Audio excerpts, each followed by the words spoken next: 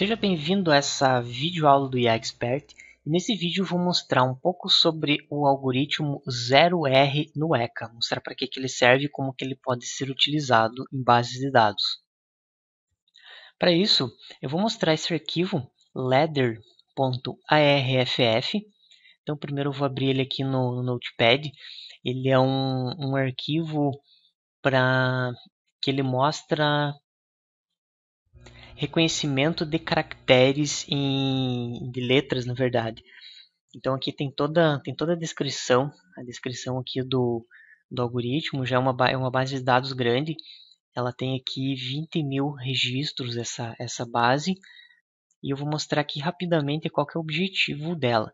Então existem aqui ó, vários atributos, que esses atributos são características das letras, como por exemplo ó, a largura da letra, a altura da letra, e assim por diante. Tem aqui a posição Y, posição X, e o objetivo é classificar qual letra que é. Ou seja, com base nessas características, eu quero classificar qual letra que é. Aqui tem todas as letras aqui do, do alfabeto.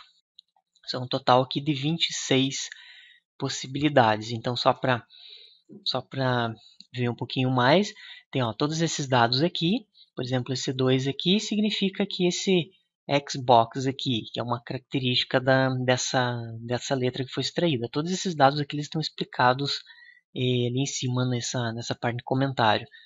Tem aqui ó, o Y, que significa esse valor aqui. O terceiro que seria a largura, então a largura da letra, o próximo, a altura da letra e assim por diante. E daí aqui eu tenho o que, que a letra é, ou seja, é, o, é uma letra Z esses outros dados aqui, o segundo é uma letra P, é uma letra S, então basicamente foi extraído as características da, das letras e colocado qual letra que ele é. E com base nisso, o objetivo é fazer a classificação, conseguir através desses dados eu fazer a previsão de, de que ele, com base nas características, qual letra que ele vai, que ele vai retornar. É uma base bem grandinha, tem, são 20 mil registros que, que eu tenho aqui. Dando dois cliques aqui no arquivo, ele vai abrir aqui no, no ECA. Então, abrindo aqui a janela, eu vou clicar aqui em Classify. E ele aqui, por padrão, ele vem esse, esse classificador 0R. Então, ele, ele é um classificador que ele está aqui nessa categoria aqui de regras. Então, o objetivo dele, eu já vou explicar aqui. Eu vou clicar aqui ó, no, deixar marcado aqui esse use em treine set, que ele vai usar os mesmos dados para treinar e para testar, só para ter uma ideia. Aqui eu vou deixar marcado a classe, que é o que eu quero fazer a previsão. Com base em todos esses atributos, eu quero prever qual que é a letra. E eu vou dar um start. E ele vai mostrar o seguinte aqui, ó. Ele deu aqui, ó, instâncias classificadas corretamente deu 4%, ou seja, deu um valor bem, bem baixo na verdade, né? Então a ideia agora é a gente entender da onde que veio esse valor aqui desse algoritmo 0R, da onde que veio esse, esse 4%. Então o que, que o algoritmo faz? Ele vem aqui na classe e ele vai pegar a classe que mais se repete. Então vamos ver aqui qual que é dessas 26, ó, por enquanto eu tenho mais do da classe A, que é 789, ó, a classe D tem mais.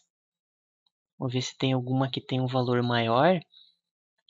Que tem 803, ó, 813.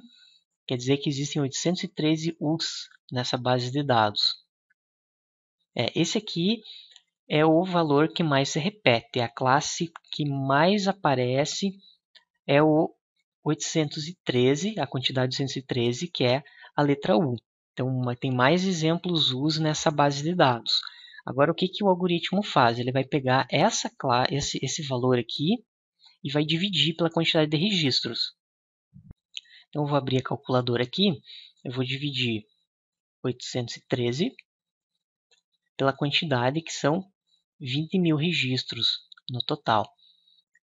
Clicando aqui, deu esse valor aqui, eu vou multiplicar por 100 para ter em porcentagem.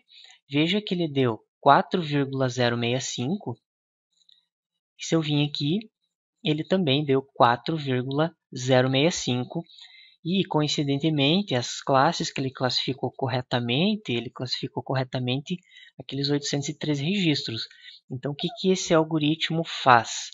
Ele pega a classe que tem mais registros e ele classifica todo mundo com essa classe aqui.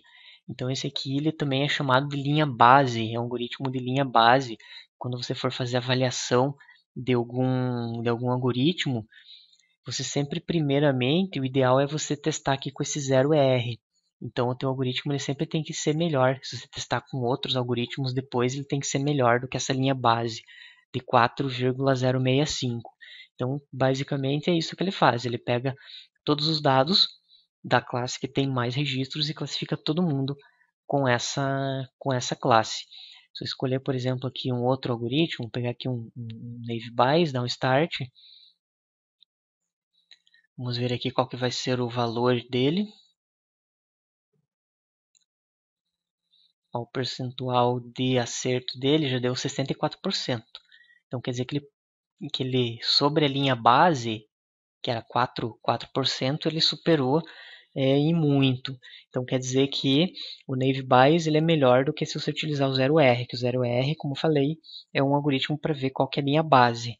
E como você serve esse, esse algoritmo aqui você não vai usar efetivamente para você classificar um, um novo registro. Geralmente você usa esse algoritmo para você avaliar se os teus outros algoritmos eles estão abaixo ou acima da linha base. Se eles estiverem abaixo, no caso se eles estivessem a é, menos do que 4% o percentual de acerto, então quer dizer que é, o algoritmo não é tão eficiente. Se ele for acima da linha base, então quer dizer que já é um algoritmo que você já pode levar ele em consideração.